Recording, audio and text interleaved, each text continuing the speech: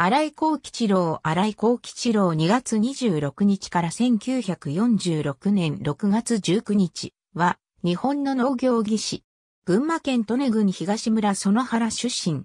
日本統治下の台湾において紅茶の栽培に尽力したことで知られる。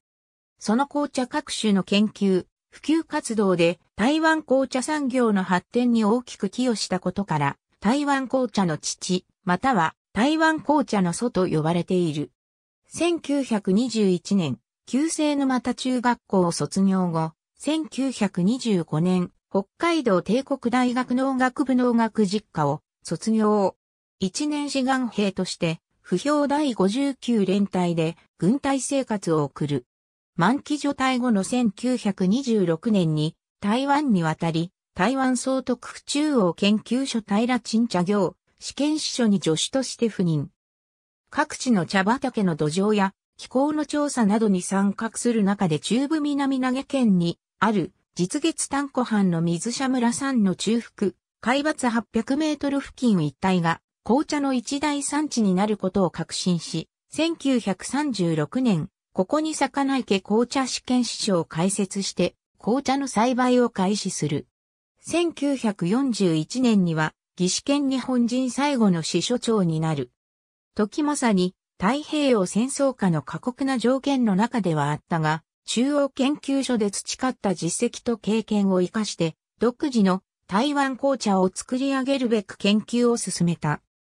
1945年、終戦により台湾が国民政府に接収されると、荒井も支所長職を陳ため貞に譲るも、台湾への熱い思いゆえに妻と娘を日本に返し、自らは義士としてそのまま泊まることを選んだ。しかし、時を置かずして翌年マラリアにより死去。42歳没。1949年、後を継いだ陳は、新井の功績を忍び、左縁に記念碑を建立。従業員たちは、台湾紅茶の開祖及び山の守護神として、これを尊び定期的に参拝するようになる。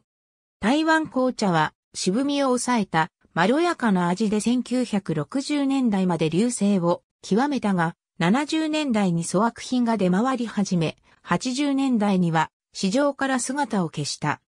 ところが1999年に台湾大地震が発生、震災の復興策として紅茶の生産が捉えられる中で長年知る人ぞ知る存在であった洗いの存在が脚光を浴びるようになってきた。